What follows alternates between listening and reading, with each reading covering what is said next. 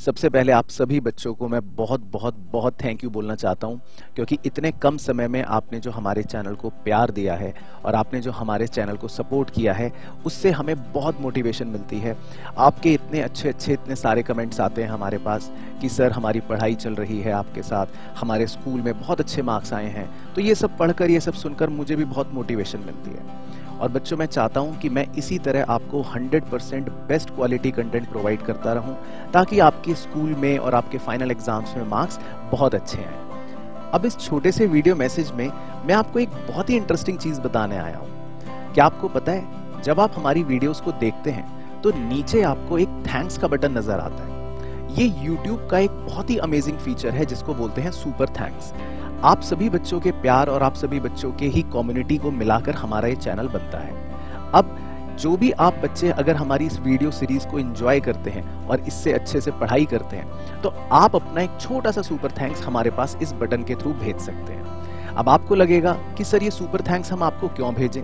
हम आपको ये एक रुपए भी क्यों दें? तो बच्चों, मैं आपको बताना चाहता हूँ, ये सुपर थैंक्स सिर्फ़ रुपए का नहीं होता। ये सुपर थैंक्स होता है एक फीलिंग का, एक सपोर्ट का और एक हमारे दिल से दिल के कनेक्शन का। और इसके अलावा, हमारा जितना भी सुपर थैंक्स के थ्रू फंड रेज होता है, वो सीधा जाता है बच्चों हमारे आरकेजी फाउंडेशन में आरकेजी फाउंडेशन हमारा एक एनजीओ है, जिसके तहत हम क्लास सिक्स से लेकर क्लास ट्वेल्थ के सभी अंडर प्रिविलेज स्टूडेंट्स को उनके एजुकेशन में मदद करते हैं। तो बच्चों, आपका एक छोटा सा सपोर्ट हमारे चैनल को मोटिवेशन देता है, हमें प्रोत्साहित करता है कि हम और बेहतर कंटेंट आपके लिए बनाएँ और हमारी पूरी कोशिश रहती है कि आपको 100% इस तरह से कंटेंट प्रोवाइड किया जाए कि आप अपने मार्क्स बहुत अच्छे से स्कोर कर पाए।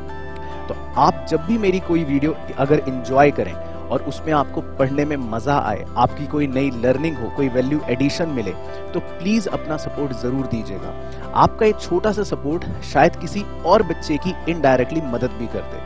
तो बच्चों, बहुत बहुत प्यार आप सभी बच्चों को, और हाँ जितने भी सुपर थैंक्स हमें मिलेंगे, उन सारे सुपर परचेजर्स को मेरी तरफ़ से मिलेगा स्पेशल शाउट आउट आपका कमेंट तो अलग से पिंड होगा ही और साथ ही साथ हमारे कम्युनिटी पोस्ट पे मैं सभी हमारे सुपर परचेजर्स को अलग से थैंक्स बोलूँगा।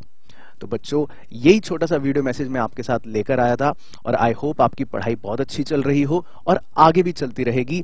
बाकी वीडियो पूरी कंप्लीट देखना, पढ़ाई इस लेक्चर की कंप्लीट करना और अपने जो रेगुलर कमेंट्स आप करते हो, वो ज़रूर ज़रूर करना। Thank you so much hello बच्चों। आज हम करेंगे आपके साथ रिवाइज हमारा इंडियन इकोनॉमी का लास्ट चैप्टर जिसका नाम है इंडिया एंड नेबर्स तो ये हमारे इंडियन इकोनॉमी का सबसे छोटा चैप्टर है। तो इसका रिवीजन भी सुपर फास्ट तरीके से, आसानी से हो जाएगा। तो इस चैप्टर के अंदर बस हमें कुछ इंटरेस्टिंग फैक्ट्स के बारे में पढ़ना होता है और हमारे जो दो मेन नेबरिंग कंट्रीज़ हैं, पाकिस्तान और चाइना, उनके बारे में थोड़ा थोड़ा समझना होता है। तो शुरू करते हैं हमारा चैप्टर तो जैसा कि चैप्टर की शुरुआत है जो तीनों हमारे डेवलपिंग कंट्रीज़ हैं, यानी कि इंडिया पाकिस्तान और चाइना अगर हम तीनों की हिस्ट्री की शुरुआत करें तो तीनों की कहानी लगभग लगभग एक समय से ही शुरू हुई थी। यानी कि अगर तीनों की इंडिपेंडेंस की मैं बात करूँ तो वो ऑलमोस्ट ऑलमोस्ट एक ही टाइम पर हुई थी। तो सबसे पहले अगर हम बात करें चाइना की तो चाइना को 1949 में कह सकते हैं इंडिपेंडेंस मिली। इंडिया को भी लगभग उसी टाइम 1947 और पाकिस्तान को भी 1947 में इंडिपेंडेंस मिली। तो तीनों की एक तरह से डेवलपमेंट की शुरुआत एक समय से ही हुई। अब उसके बाद क्या हुआ वो देखते हैं। तो सबसे पहले जब फाइव ईयर प्लान बनने शुरू हुए तो भारत का पहला फाइव ईयर प्लान बना 1951 में। पाकिस्तान का पहला फाइव ईयर प्लान बना 1956 में, जबकि चाइना का पहला फाइव ईयर प्लान बना 1953 में।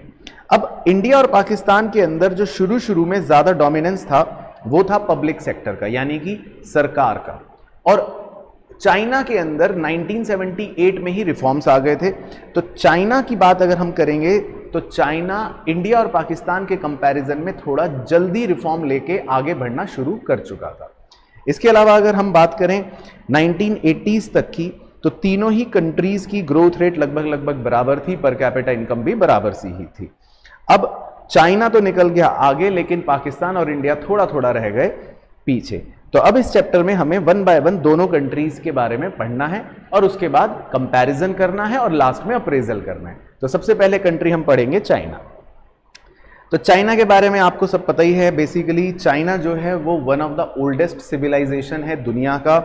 चाइना ईस्टर्न एशिया में आता है और ये दुनिया का तीसरा सबसे बड़ा कंट्री है। पॉपुलेशन की अगर हम बात करें तो चाइना दुनिया का सबसे, यानी कि मोस्ट पॉपुलेटेड कंट्री है। तो पॉपुलेशन की टर्म्स में चाइना की आती है रैंक वन इसके अलावा चाइना की इकोनॉमी के बारे में हमें जानना ज़्यादा इंपॉर्टेंट है और एग्ज़ाम में क्वेश्चन इसी पोर्शन में से आता है। वो क्या है? सबसे पहले ग्रेट लीप फॉरवर्ड यानी कि जी एल एफ़ कैंपेन अब जी एल एफ़ कैंपेन का मतलब क्या है? ग्रेट मतलब महान लीप मतलब छलांग फॉरवर्ड मतलब आगे। तो माओ जिदोंग, ये नाम आप याद रखना, एक बहुत ही महान क्रांतिकारी कह सकते हैं चाइना की हिस्ट्री में। तो माओ जिदोंग ने 1958 में एक कैंपेन इनिशिएट यानी कि स्टार्ट करा जीएलएफ जिसमें उनका फोकस था कि हमें इंडस्ट्रियलाइजेशन करना है ताकि चाइना जो है, वो प्रोडक्शन में बहुत आगे हो जाए। तो इस तरह के कैंपेन के साथ उन्होंने शुरुआत करी तो जिसमें फोकस था इंडस्ट्रियलाइजेशन पर। और रूरल एरियाज़ की अगर हम बात करें तो रूरल एरियाज़ में उन्होंने फोकस करा कॉम्यून सिस्टम पर। कॉम्यून सिस्टम का क्या मतलब? जहाँ पर छोटे छोटे जो लैंडलॉर्ड्स हैं, उन्होंने मिलजुल कर कल्टीवेशन शुरू करी। तो अगर किसी के पास बहुत थोड़ी सी भी ज़मीन है तो उसने और लोगों के साथ मिलकर एक कंबाइन करके कम्युनिकेट कल्टीवेशन करना शुरू करा, जिसको बोल दिया कॉम्यून सिस्टम तो ये वहाँ पर एक जीएलएफ कैंपेन शुरू हुआ। लेकिन 1959 से लेकर 1961 के दौरान एक बहुत भयंकर वहाँ पे सूखा पड़ा, जिसमें लगभग तीन करोड़ लोगों की जो मृत्यु हुई तो तब जाकर ये जीएलएफ कैंपेन हम कह सकते हैं, खत्म हुआ। फिर इसी के बाद दूसरा कैंपेन एक तरह से शुरू हुआ, जिसका नाम था great proletarian cultural revolution proletariat का क्या मतलब होता है? प्रोलेटेरिएट का मतलब होता है, जब खूब सारे स्टूडेंट्स या खूब सारे वर्किंग प्रोफेशनल्स के हम झुंड को, यानी कि उनके कलेक्टिव एक ग्रुप को नाम दे दें तो उसको प्रोलेटेरिएट कहते हैं। तो माओ जिदोंग जो था, वो इन तरह के युवा लोगों को मोटिवेशनल बातें बोलता था मोटिवेशनल कोट सुनाता था, और ये लोग वो सारी बातें एक लाल डायरी में लिख लिया करते थे, और धीरे धीरे माओ ने अपनी एक सेना तैयार कर ली थी, जिसको बोलते थे रेड गार्ड्स और ये लोग करंट जो उस समय की गवर्नमेंट थी उसको क्रिटिसाइज करने का मेनली काम करते थे और वो इन लोगों को दूर ले जाता था, यानी कि कंट्री यार्ड आउटर एरिया में ले जाता था और अपनी फौज को धीरे धीरे इकट्ठा करना शुरू कर रहा था। फिर इसके बाद खैर माओ की हो गई मृत्यु और फिर जो असली रिफॉर्म्स चाइना में आए, वो आए 1978 में। जिसमें पहले चरण में रिफॉर्म्स को एग्रीकल्चर फॉरेन ट्रेड और इन्वेस्टमेंट वाले सेक्टर में लाया गया और फिर उसके बाद धीरे धीरे इंडस्ट्रियल फ़ेज़ में लाया गया। अब यहाँ पर एग्ज़ाम में जो दो नंबर का एक इंपॉर्टेंट क्वेश्चन हमसे पूछ सकता है कि चाइना की इकोनॉमी में एक डुअल प्राइजिंग पॉलिसी रिफॉर्म्स के टाइम पर फॉलो की गई। अब ये डुअल प्राइजिंग पॉलिसी क्या थी? डुअल प्राइजिंग पॉलिसी का मतलब है नाम से दो दो प्राइस अब दो दो प्राइस कैसे? तो अब देखो सबसे पहले फार्मर्स और इंडस्ट्रियल यूनिट्स को बोला गया कि आप कुछ फिक्स्ड क्वांटिटीज तो प्री डिटरमाइंड जो प्राइस हैं जो सरकार पहले से निर्धारित कर देगी, उसी पर आपको खरीदने बेचने पड़ेंगे। लेकिन उसके ऊपर आपको जितनी भी क्वांटिटी खरीदनी बेचनी है, वो बाज़ार के, यानी कि मार्केट के प्राइस पर आप खरीद सकते हो। और बाज़ार का प्राइस कैसे निकलता है? हमने क्लास इलेवेंथ में पढ़ा था, जब डिमांड और सप्लाई इंटरसेक्ट करते हैं। तो इस मॉडल को इसीलिए बोलते हैं डुअल प्राइसिंग सिस्टम तो ये चाइना ने अपनाया था। और इसके अलावा चाइना ने स्पेशल इकोनॉमिक जोन्स बनाए ताकि जो फॉरेन इन्वेस्टर्स हैं फॉरेन निवेशक, वो इतने ज़्यादा प्रोत्साहित हो जाते थे चाइना में निवेश करने के लिए। तो ये पाँच जो मेन बातें हैं चाइना की इकोनॉमी को लेकर, वो हमें अच्छे से आनी चाहिए। अब हम आ जाते हैं पाकिस्तान पर, हमारा दूसरा नेबरिंग कंट्री तो पाकिस्तान को आज़ादी मिली 14 अगस्त 1947 को, जैसा कि हम जानते हैं। और उसके बाद भी जो ईस्ट पाकिस्तान है, वो भी एक अलग से देश बन गया, बांग्लादेश। उसको आज़ादी मिली 1971 में। बाकी इसके अलावा पाकिस्तान साउथ एशिया में लोकेटेड है, और अगर हम पॉपुलेशन की बात करें तो पाकिस्तान फिफ्थ दुनिया का सबसे ज़्यादा पॉपुलेटेड कंट्रीज़ में रैंक रखता है। बाकी नेशनल लैंग्वेज उर्दू है, लेकिन ऑफिशियल लैंग्वेज इंग्लिश है।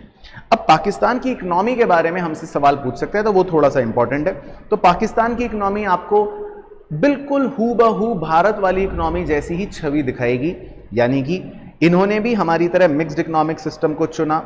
इन्होंने भी अपने यहाँ ग्रीन रिवॉल्यूशन की शुरुआत करी, जिससे प्रोडक्टिविटी एग्रीकल्चर सेक्टर में बहुत ज़्यादा बढ़ गई। इन्होंने शुरुआती दौर में पब्लिक सेक्टर को ज़्यादा इंपॉर्टेंस दी। लेकिन फिर बाद में एटीज़ के बाद इन्होंने प्राइवेट सेक्टर के रोल को धीरे धीरे बढ़ाना शुरू कर दिया। बाकी एक पॉइंट थोड़ा सा इनका हटके है भारत से, वो ये कि पाकिस्तान के यहाँ हमेशा फाइनेंशियल क्राइसिस क्योंकि थोड़े ज़्यादा रहते थे तो इनकी जो रेमिटांसेस हैं फॉरेन से, इनके जो हेल्प होते थे फॉरेन बैंक से या वर्ल्ड बैंक से, वो थोड़े ज़्यादा हुआ करते थे। तो ये पाकिस्तान की इकोनॉमी का एक ब्रीफ लेखा जोखा था। हेलो बच्चों। बच्चों, क्या आपका भी सपना है चार्टर्ड अकाउंटेंट बनने का? और आप चाहते हैं अपनी सीए की जर्नी मेरे साथ, यानी कि हमारी पूरी आरकेजी टीम के साथ कंप्लीट करना तो आपको करना है सिर्फ़ एक काम। आरकेजी सीए क्लासेस के ऐप को आज ही डाउनलोड कीजिए। यहाँ पर आपको सीए फाउंडेशन सीए इंटर और सीए फाइनल की आपकी कंप्लीट जर्नी की गाइडेंस मिलेगी। आरकेजी के साथ अपनी सीए की तैयारी करने के लिए आपको मिलते हैं दोनों ऑप्शंस यानी कि अगर आप ऑनलाइन घर बैठे तैयारी करना चाहते हैं तो वो भी आप कर सकते हैं. और अगर आप ऑफलाइन इंस्टीट्यूट में आकर अपनी प्रिपरेशन करना चाहते हैं तो वो भी आप कर सकते हैं. लेकिन आपको करना है सिर्फ़ एक काम. आरकेजी सीए क्लासेस के ऐप को आज ही डाउनलोड करें। इसका लिंक आपको नीचे वीडियो के डिस्क्रिप्शन में भी मिल जाएगा। तो सभी प्यारे प्यारे बच्चों को मेरी तरफ़ से बहुत बहुत बेस्ट विशेष आई होप आपकी सीए की जर्नी बहुत अच्छी रहे और आप एक बहुत अच्छे सक्सेसफुल चार्टर्ड अकाउंटेंट बन के निकले। अब हम देखेंगे कंपैरेटिव स्टडी की भाई तीनों कंट्रीज़ जो हैं, वो अलग अलग चीज़ों के हिसाब से अगर हम कंपेयर करें तो कैसे हैं? तो इसमें हम कुछ चार या पाँच अलग अलग पैरामीटर्स आपके साथ डिस्कस करेंगे। तो जैसे सबसे पहले हम डेमोग्राफिक इंडिकेटर्स की बात कर लेते हैं। तो डेमोग्राफिक इंडिकेटर्स में बात करें तो इंडिया की पॉपुलेशन आप देख ही रहे हैं कि सेकेंड लार्जेस्ट है दुनिया में, जबकि चाइना की जो है वो सबसे हाइएस्ट है। तो जो भी हाईएस्ट होगा वो यहाँ पर आपको येलो हाईलाइटेड मिलेगा और तीनों में जो भी लोएस्ट होगा वो आपको ब्लू हाईलाइटेड मिलेगा। तो आप अपने आप यहाँ पर देख सकते हैं। इसी तरह एनुअल ग्रोथ ऑफ़ पॉपुलेशन की बात करें तो पाकिस्तान की growth rate annual growth rate प्रतिशत में सबसे ज़्यादा है, जबकि चाइना की सबसे कम है। अगर हम डेंसिटी की बात करें, यानी घनेपन की बात करें तो उसमें इंडिया की डेंसिटी सबसे ज़्यादा है और चाइना की डेंसिटी सबसे कम है। इसी तरह सेक्स रेशियो की अगर हम बात करें तो उसमें पाकिस्तान का सेक्स रेशियो सबसे बेहतर या सबसे ज़्यादा है और इंडिया का सेक्स रेशियो 929 यानी सबसे बेकार है। फर्टिलिटी रेशियो की अगर हम बात करें तो पाकिस्तान का फर्टिलिटी रेशियो सबसे ज़्यादा है 3.7 जबकि चाइना का फर्टिलिटी रेशियो सबसे कम है 1.6 और अगर हम अर्बनाइजेशन यानी शहरीकरण की बात करें तो चाइना में सबसे बेहतरीन शहरीकरण है 56 परसेंट का और इंडिया में सबसे कम 33 परसेंट का। तो ये कुछ बेसिक कंपैरेटिव स्टडीज़ हैं। जो हमें पता होनी चाहिए।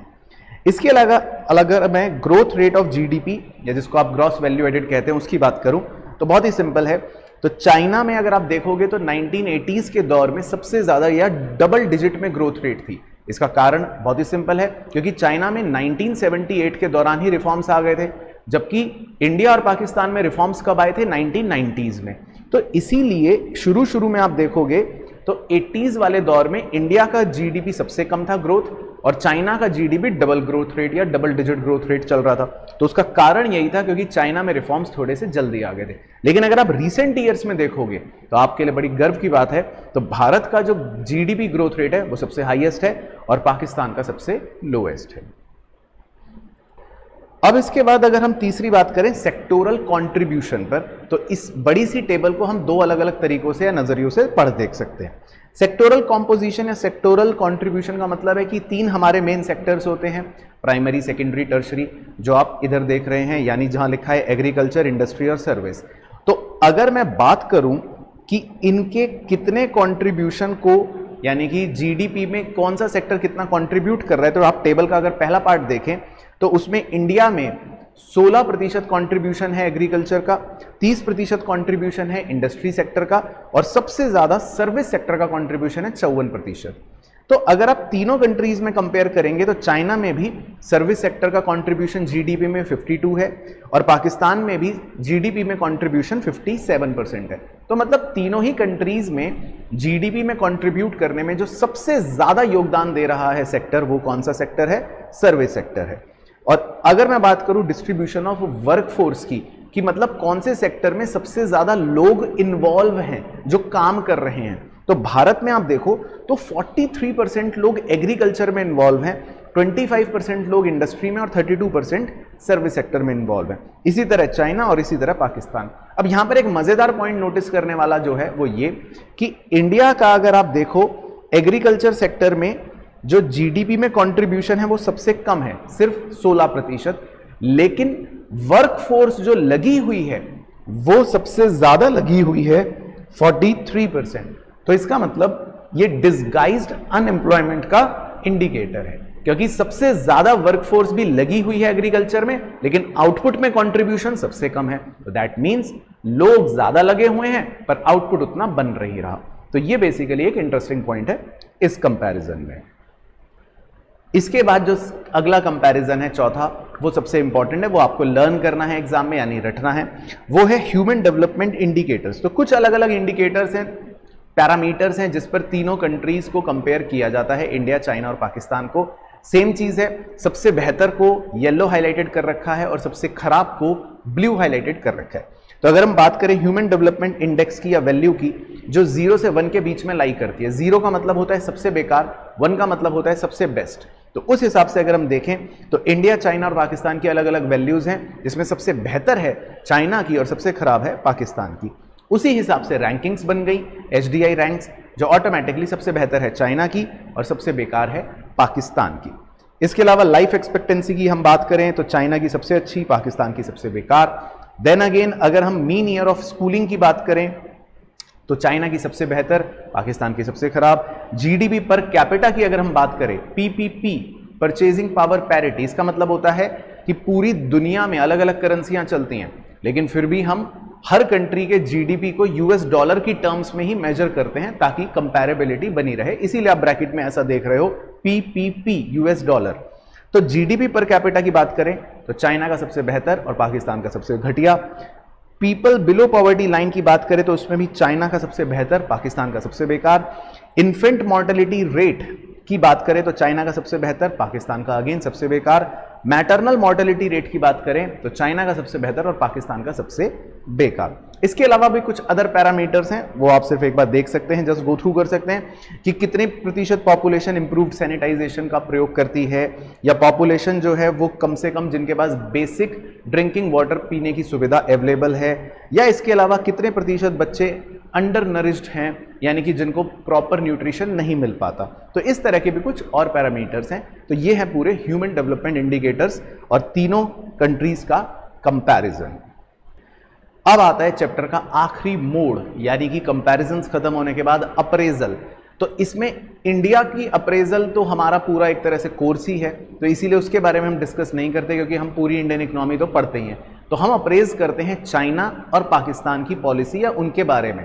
तो अगर मैं पहले चाइना की बात करूँ तो चाइना ने रिफॉर्म्स जो हैं वो सिर्फ़ कंपल्शन की वजह से नहीं चुने। यानी कि इंडिया और पाकिस्तान पर तो वर्ल्ड बैंक की शर्तों का दबाव था। इसीलिए हमारे यहाँ 1990s में ग्लोबलाइजेशन लिबरलाइजेशन प्राइवेटाइजेशन आया। जबकि चाइना के यहाँ रिफॉर्म्स 1978 में उनकी अपनी मर्ज़ी से ही शुरू हो गए। तो ये चाइना को थोड़ा डिफरेंट बनाता है हम लोगों से। इसके अलावा, क्योंकि चाइना जो है वो 1978 में ही शुरू हो गया रिफॉर्म्स तो वो थोड़ा जल्दी हमारे से आगे बढ़ गया। लेकिन फिर भी उसमें कुछ बुरे और कुछ प्रभाव ऐसे पड़े जो चाइना के लिए अच्छे नहीं थे। तो उनमें से मैं आपको कुछ बता देता हूँ कि प्री रिफॉर्म पीरियड में चाइना की जो हेल्थ सर्विसेज़ थी, वो बहुत बेकार थी। इसके अलावा, जो कॉम्यून सिस्टम था चाइना का, वो बहुत बढ़िया था, जिसकी बदौलत छोटे छोटे कल्टीवेटर्स भी मिलजुल कर आपस में कल्टीवेशन बढ़ा पाए या प्रोडक्शन को बढ़ा पाए। तो ये हम कह सकते हैं कि एक बेहतर पॉइंट था चाइना के अंदर। फिर इसके बाद लेकिन अगर हम बात करें कि जो जीएलएफ कैंपेन आए या जो दूसरे रिफॉर्म्स आए, उससे पहले माओ वाले, उन्होंने जीडीपी को इतना नहीं इंक्रीज करा जितनी एक्सपेक्टेशन थी। तो हम कह सकते हैं ये एक बेकार पॉइंट है। इसके अलावा अगर मैं बात करूँ कि 1978 से पहले जो सरकार ने, वहाँ की गवर्नमेंट ने जो स्टेप्स लिए थे, वो इतने कारगर साबित नहीं हुए तो ग्रोथ रेट कोई ज़्यादा नहीं बढ़ा तो ये भी हम कह सकते हैं कि एक बेकार पॉइंट था।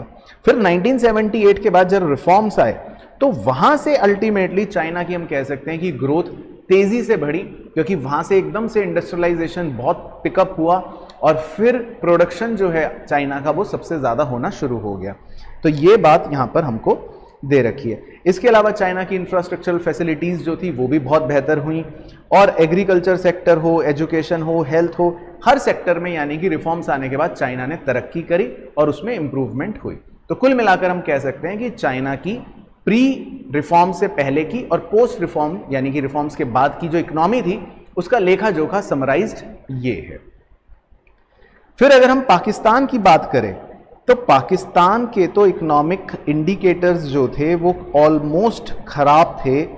बल्कि एक सबसे इंटरेस्टिंग बात पाकिस्तान के साथ तो ये हुई कि बीच में एक दौर ऐसा था, जहाँ पर पाकिस्तान के हालात फिर भी ठीक हुए और रिफॉर्म्स आने के बाद उल्टा और खराब हो गए।